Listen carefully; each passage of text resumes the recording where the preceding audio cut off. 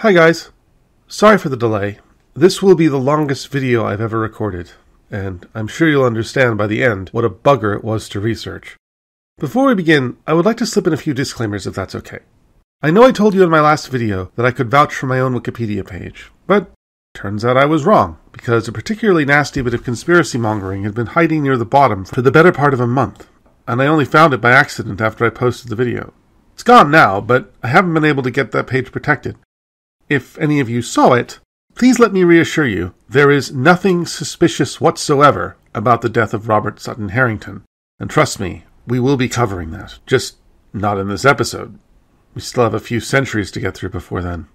Secondly, this video, of necessity, features a great deal of French, and I don't speak French. So please, any francophones, bear with what I'm sure will be my garbled pronunciations. Finally, and arguably most important, the story of the discovery of Neptune is complicated, fractious, and incomplete, and many sources contradict each other. What you're about to hear is by no means the definitive account, but simply what I managed to glean after two weeks of research. So please take what you hear with a pinch of salt. Anywho, enough talking myself down. Please sit back and enjoy the show.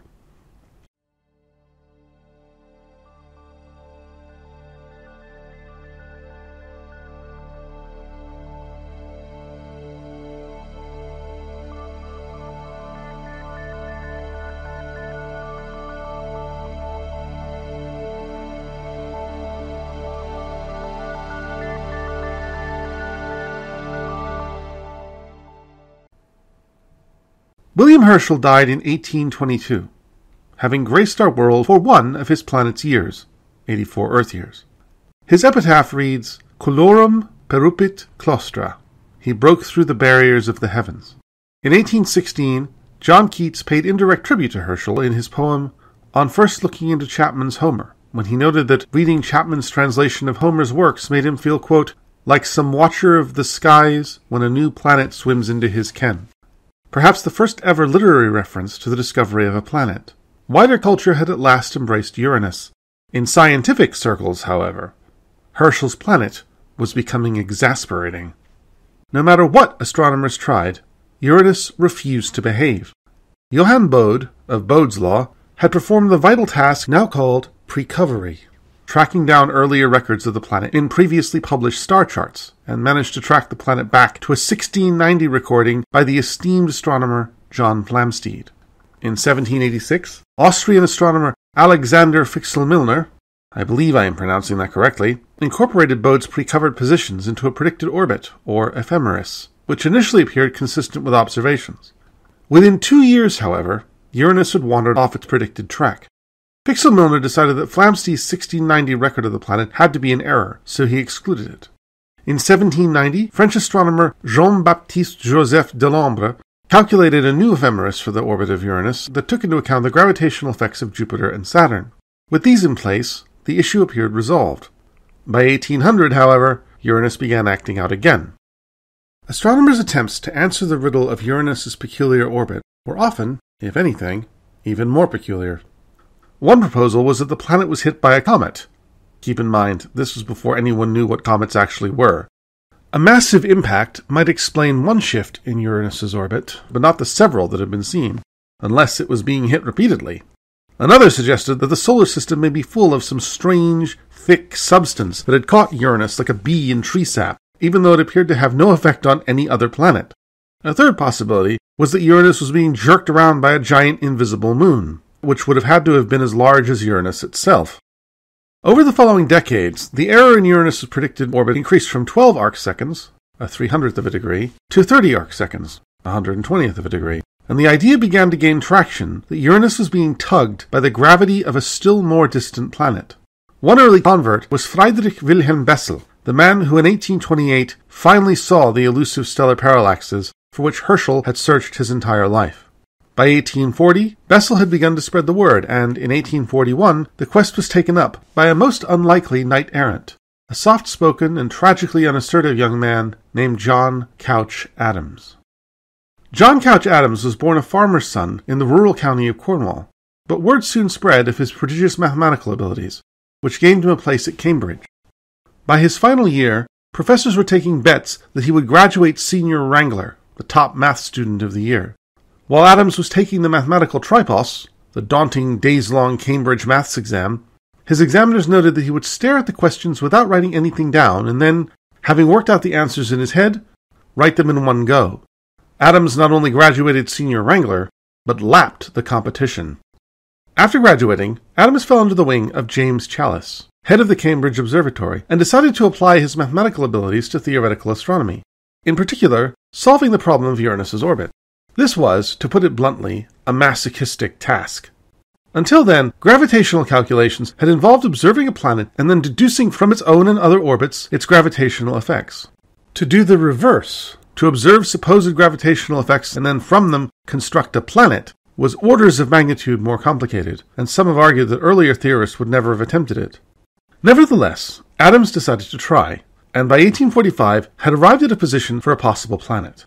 He submitted his figure to Challis, but Challis was not one to set a historical precedent by himself. Searching for astronomical objects that previously only existed in mathematical theory is humdrum today, but was unheard of then.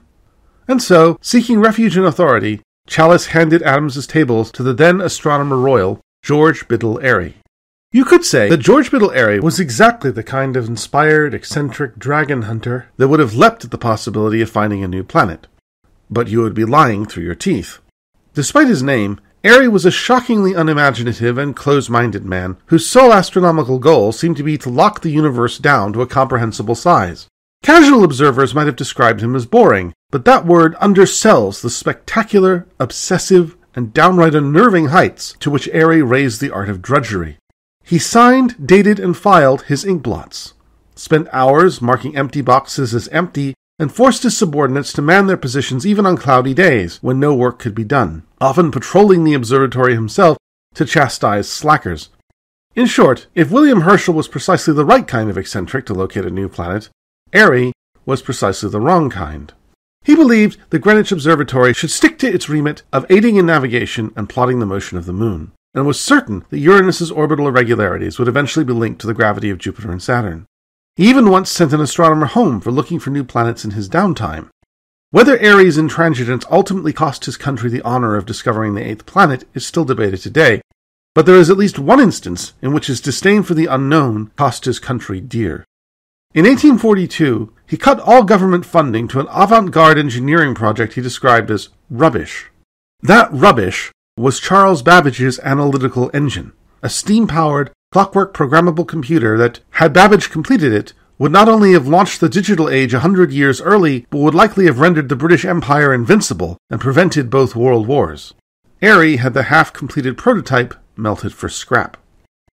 If Airy was precisely the wrong kind of mind to find a new planet, then Adams was the wrong kind of mind to deal with Airy. Adams was a cripplingly shy man who found more comfort in equations than conversations, and whose idea of fun was calculating mathematical constants to 200 places. Most modern historians agree that had he lived today, he would have been diagnosed with an autistic spectrum disorder like Asperger's syndrome. When Airy asked Adams a very reasonable question regarding how his calculations accounted for the changes in Uranus's distance from the Sun, Adams failed to reply. Some speculate because he saw the question as trivial. Airy, on the other hand, considered it non negotiable and refused to search for Adams's planet. It would prove a fateful decision, because across the channel in France, another planet hunter was already on the search, and he was anything but shy. Like Adams, Urbain Jean Joseph Leverrier was a supernaturally gifted mathematician born to a modest but respectable middle class family. His father was a government official who sold his home to provide the funds for his son to attend university after he failed the entrance exam. Upon graduation, Leverrier did not pursue astronomy, but instead became, of all things, a tobacco chemist, publishing his first paper on the chemistry of matches. In 1836, despite having no formal training in the subject, he applied for, and got, an astronomical teaching position at the École Polytechnique. Within two years, he had already published a paper on celestial mechanics. These two facts ably illustrate the defining traits of Leverrier's character remarkable ability tied to overwhelming self confidence. While that ability would serve him well throughout his life, the self confidence would not, as it frequently crossed the line into outright narcissism. Over the years, Leverrier would gain a reputation as a mauvais coucheur, or bad bedfellow. In what would become arguably the most influential description of him, an acquaintance once said, I do not know whether Monsieur Leverrier is actually the most detestable man in France, but I am quite certain he is the most detested. On the 1st of September 1845, the director of the Paris Observatory, Francois Arago, suggested that Leverrier direct his talent for celestial mechanics toward finding the planet that had supposedly been so tormenting Uranus. Leverrier's search would last little more than a year, during which he would write 10,000 pages of mathematical notes. He started with the basics. He knew that the planet could not be too close, or its perturbations would have been more obvious. However, he also knew that it could not be too far away, or it would have to be so large to perturb Uranus that its gravity would be perturbing Saturn as well. He settled on a presumed distance of twice that of Uranus, in keeping with Bode's law, unaware that the planet, once found, would consign that pattern to the Curiosity Cabinet. His search drew on correspondence not only with Arago in Paris, but also Airy at Greenwich. By the 1st of June, 1846, Leverrier was confident enough to announce two possible positions for the planet to an accuracy of 10 degrees.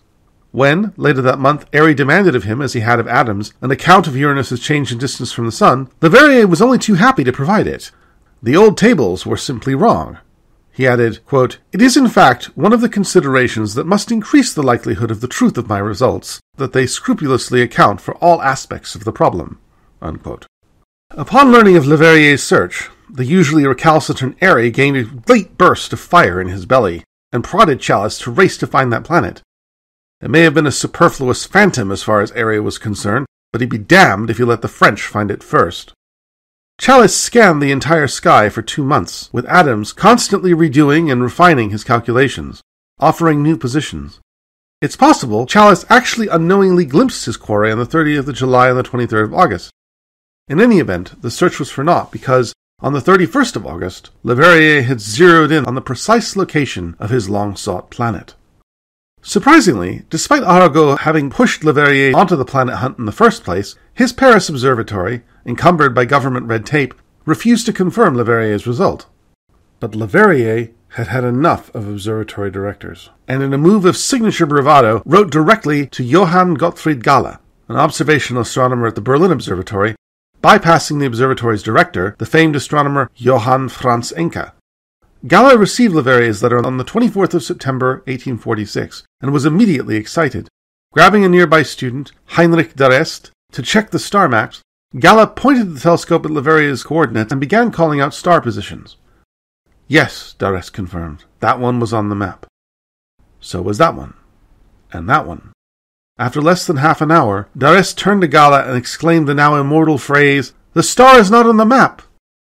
That same day, Galle wrote a breathless letter back to Leverrier. Monsieur, the planet whose position you had indicated really exists. Soon, confirmations of the planet's existence were flooding in from across Europe, and Leverrier, much to his satisfaction, was a national hero. Encke, initially flustered at Galle for going behind his back, was quick to be magnanimous.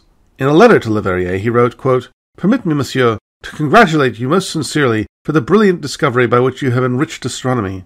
Your name shall henceforth be associated with the most glorious imaginable demonstration of the correctness of universal gravitation. I believe that these few words encompass all that a scientist's ambition could possibly hope for.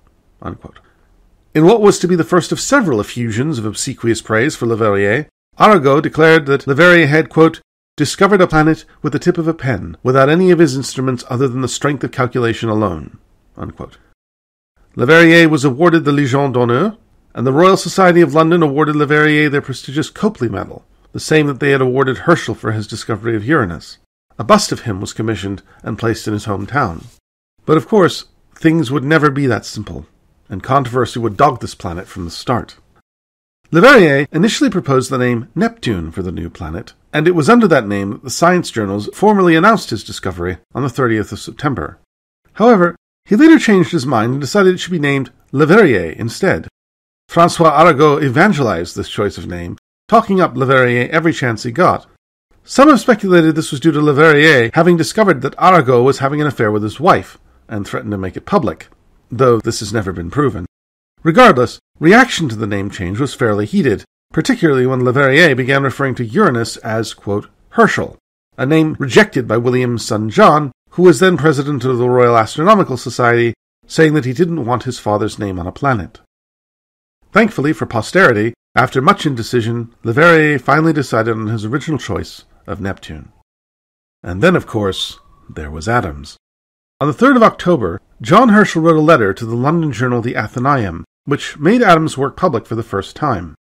I've been unable to locate the exact quote, but apparently it insinuated that Leverrier's discovery was only confirmed when corroborated by Adams' calculations.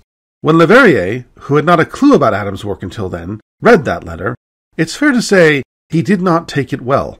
When George Airy sent a very polite and gracious letter gently informing him of Adams's calculations, Leverrier exploded. The letter Monsieur Herschel has communicated to me is in very bad taste and fails to do me justice. What can be his motive? I can't quite understand him, especially when he descends to insinuations which I find mortifying. Of what use, therefore, is it for Monsieur Herschel to cry out before all of England that I was not good enough to deserve his confidence? How is it that the son of the immortal astronomer who discovered Uranus has the audacity to write that my calculations alone would not have given confidence he showed before the British Association? Why, the day after the discovery of my planet, does he not see that he brought into question his scientific judgment by placing under injurious suspicion a labor which in fact had been confirmed in the most spectacular manner? Turning on Adams, he wrote, Why would Monsieur Adams have kept silent for four months? Why wouldn't he have spoken from the month of June if he had something to say? Why wait until the object has been seen in the telescope? Airy's reply was kowtowingly apologetic and shouldered the blame for the secrecy, saying that Adams had never provided information about the sun distance question and that without it he did not urge publication. The apology didn't help. Arago defended Leverrier's claim in public, and the French press spat apoplectic vitriol at the British, whom they justifiably believed were attempting to steal their planet from them. Their anger was understandable.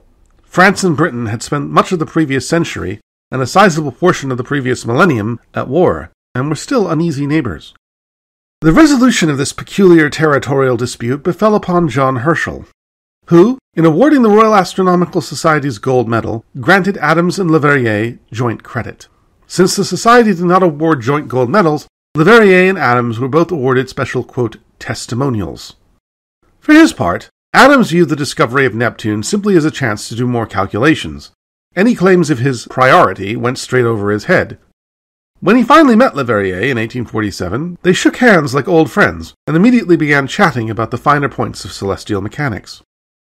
And that, for a 150 years, was the story. Leverrier, the triumphant master of the cosmos, tarnished by his own vanity. Adams, the quiet, tragically modest man who couldn't speak loud enough to be heard. Airy, the hidebound bureaucrat who failed to see the wonder before his eyes. And Challis, the bumbling observer who missed the golden opportunity that Adams had afforded him. But something remained amiss.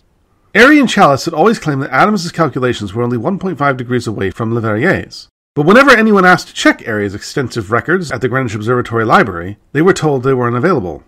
And then, sometime in the mid 1960s, the observatory's Neptune records vanished. For decades, the whereabouts of the Neptune file remained unknown. And then, in 1998, an archivist was going through the bequeathed records of Olin Jeuck Eggen, a recently deceased staff member at the Inter American Observatory in Chile. Several years before, Eggen had been the chief assistant to the Astronomer Royal at the Greenwich Observatory, but had left in a huff and scarpered to the southern hemisphere. It had long been suspected that he had, quote, borrowed the Neptune file to aid in writing short biographies of Airy and Challis, and never returned it, though when asked he always denied it. Well, it turns out he did, because the Neptune file was found in a strong box in his house in Chile, and what it revealed cast a harsh light on poor Mr. Adams. Far from being just 1.5 degrees off, Adams's calculated positions were never closer than 4 degrees, and his constantly shifting positions for the planet ranged across 20 degrees of celestial longitude, which would go some way toward explaining why Challis couldn't find it. It seems Leverrier was right all along. He truly was the one and only discoverer of Neptune. Regardless, it's too late. Thanks to the egalitarian souls at NASA, the hazy compromise engineered by John Herschel all those years ago has been written into the cosmos. When Voyager 2 passed by Neptune in 1989, it observed a number of faint, flimsy rings around the planet. One, the discoverers christened Arago. Another, they named Leverrier.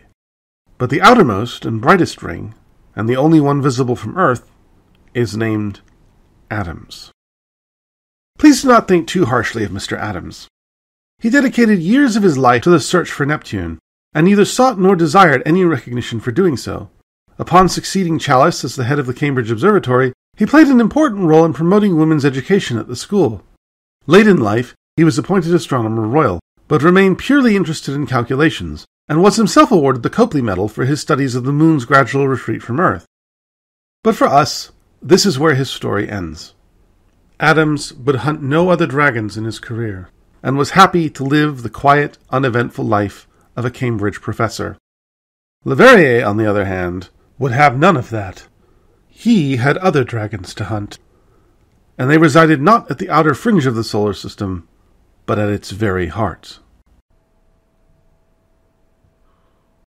In 1854, Leverrier succeeded Arago as head of the Paris Observatory, an appointment that would result in mass resignations, several firings, and at least one suicide. One such firing was the 20 year old student Camille Flammarion, who would become a journalist and excoriate Leverrier in the media. His descriptions of the conditions of the observatory under Leverrier's leadership resemble a fascist state. Leverrier would fire people at random, even against the wishes of the government. He denied those he disliked access to assistance, and even coal in winter. Charles Daverdoing, the artist who painted Leverrier's first post Neptune portrait, attempted to cast him in a more positive light, saying he was, quote, a good natured fellow, very cheerful and good company. Though he did not make allowances for the age or stamina of his workers, he was never one to bite his tongue, and more than once laid his hands on someone. Translation He worked his aged employees to the bone and committed verbal and physical assault. Eventually, a committee formed that recommended he be fired from his position. But in a strange twist of fate, he was reinstated just four years later after his successor drowned. Leverrier's Scrooge like obsession during this time, for which he so mercilessly rode his army of hapless Cratchits, was to construct the most accurate vision of the solar system ever seen. And to that end, he corralled his assistants into an assembly line of tabulations upon tabulations, determined to get the distances and masses right to the highest possible precision. Of all the planets, though, the one that obsessed him the most was Mercury. The innermost planet had become a fixation for Leverrier long before he'd even dreamed of Neptune. His first ever astronomical paper had used the most up to date and accurate planetary tables of the time to show that the solar system, over long time periods, is unpredictable. To demonstrate this required hyper accurate predictions of the future positions of the planets, and when, in 1845, a transit of Mercury occurred 16 entire seconds after Leverrier had predicted, he took it as a personal affront. The universe had embarrassed him for the last time. With the fame and power that came with discovering Neptune, and the full resources of the Paris Observatory at his command, he returned to face his nemesis. Blood may spill, lives may break, but Mercury would make sense. What Leverrier had uncovered was a slow backwards rotation of Mercury's entire orbit called precession that meant it constantly undershot its predicted position by a tiny, tiny, tiny amount. How tiny? Leverrier estimated to be 38 arc seconds per century, though more recent calculations place it at 46 arc seconds. To put that in perspective, that is one entire 88 day orbit of Mercury every 3 million years. The precession was minute, but it was there, outside the margin of error and the effects of the orbits of the other planets. It was a blemish Leverrier would not stand. After his triumph with Neptune, he considered any discussion of Newton's laws being at fault, quote, unallowable, and concluded that, quote, a planet, or if one prefers, a group of smaller planets circling within the vicinity of Mercury's orbit, would be capable of producing the anomalous perturbation. Unquote.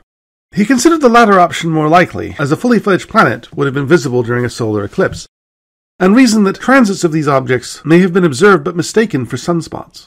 He considered that the best chance to locate it would be an upcoming eclipse in 1860.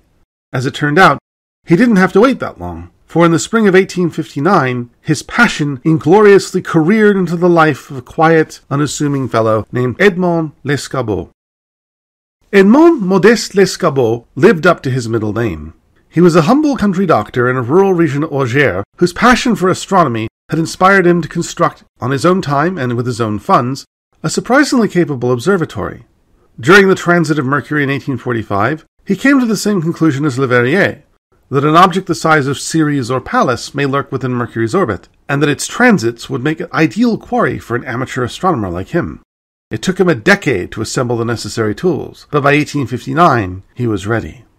On March 26, 1859, according to his notes, Lescarbault observed a small dot, about a quarter of the apparent diameter of Mercury, seem to cross the solar disk for one hour and 17 minutes.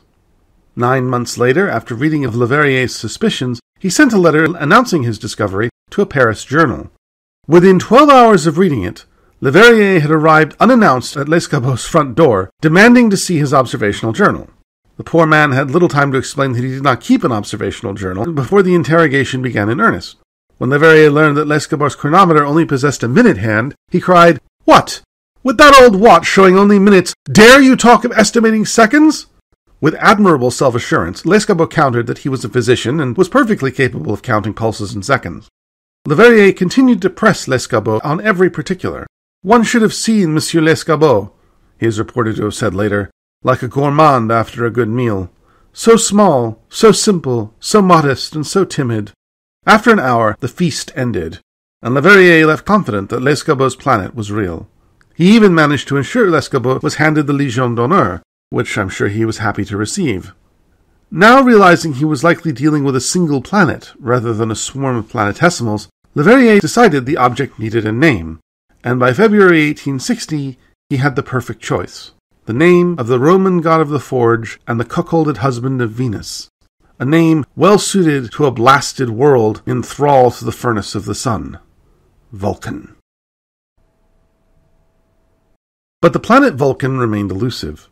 Sightings were reported from amateurs and professionals across the globe, but survey after survey failed to confirm them. When Leverrier died on 23rd of September 1877, 41 years to the day after the discovery of his planet, he remained convinced of Vulcan's existence, assured that all the failure to find it meant was that working at the boundary of theory and observation is hard. A year after Leverrier's death, an epic expedition of scientific and engineering superstars was launched to observe an eclipse in the still wild frontier town of Separation, Wyoming, which included Thomas Edison and Norman Lockyer, founder of the journal Nature and discoverer of helium. On that expedition, during the three minutes of totality, James Craig Watson, head of the Ann Arbor Observatory, thought he saw Vulcan, though none of the other great names present during the eclipse saw anything. Over the next 30 years, more searches for Vulcan would be carried out, but by the early 1900s, no one seriously believed in it anymore. But still, something was causing Mercury to precess. That was no illusion. So what was it?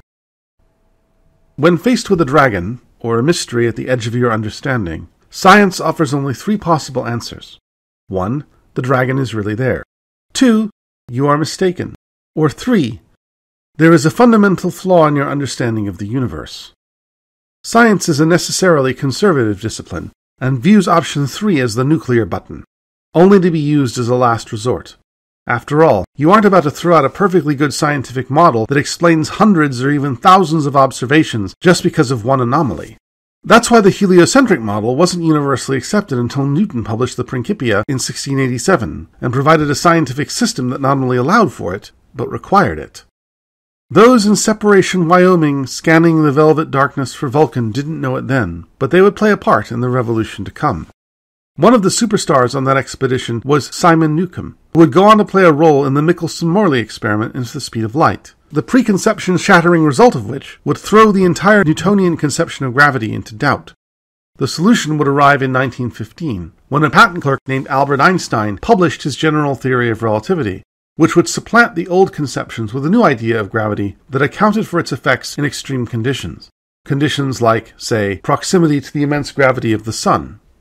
When Mercury's motions were reconceived as being within an Einsteinian space time gravity well, as opposed to the old Newtonian tug of war, they finally slotted neatly into place.